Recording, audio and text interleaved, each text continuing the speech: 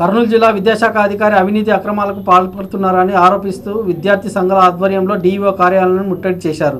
డీఈఓపై ఉన్నతాధికారులు విచారణ జరిపించి ఆయన్ను సస్పెండ్ చేయాలని విద్యార్థి సంఘం నాయకులు డిమాండ్ చేశారు. ఉపాధ్యాయుల బదిలీలతో పాటు డిజిటల్ స్మార్ట్ క్లాస్ పరికరాల కొనుగోలులో అవినీతికి పాల్పడినట్లు అధికారులపై సమగ్ర విచారణ జరిపించాలని వారు కోరారు. అవినీతికి కొమ్ము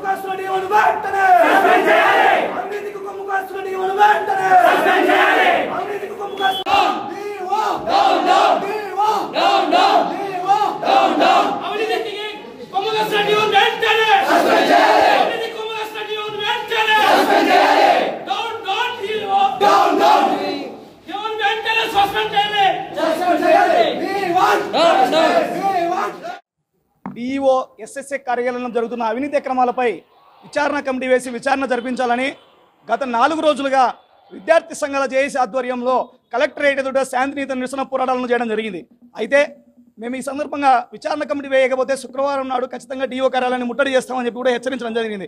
కానీ ప్రభుత్వం నుంచి పెద్దలు కానీ ప్రజాప్రతినిధులు కానీ ఎవరే కానీ జిల్లా విద్యాశాఖలో జరుగుతున్నటువంటి అవినీతిపై స్పందించకపోవడం చాలా బాధాకరమైన విషయం.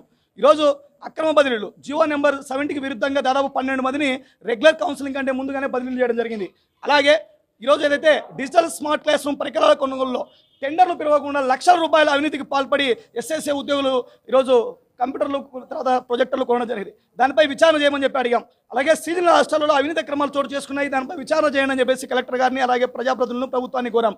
కానీ మేము అడుగుతున్న ఏ విషయానికి కూడా ప్రభుత్వం స్పందించడం లేదు జిల్లా ఉన్నతాధికారులు స్పందించడం లేదు. అందుకే ఈరోజు ఈ కలెక్టరేట్ ముట్టడి కార్యక్రమాలు చేసుకోవడం జరుగుతూ ఉంది.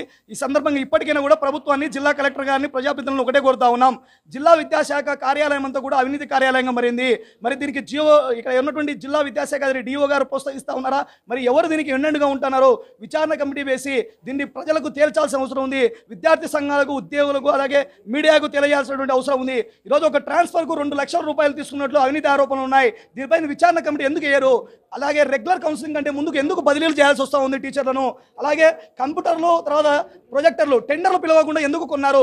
దాదాపు ఐదు వందల డెబ్బై ఐదు ప్రభుత్వ ఉన్నత పాఠశాలలో డిజిటల్ ల్యాబ్ల కోసం అని చెప్పేసి ఈరోజు దాదాపు లక్షల రూపాయలు డిస్ట్రిక్ట్ మినరల్ ఫండ్ ద్వారా వాడుకోవడం జరిగింది. మరి దీనిపై సమాధానం ఎందుకు చెప్పడం లేదు?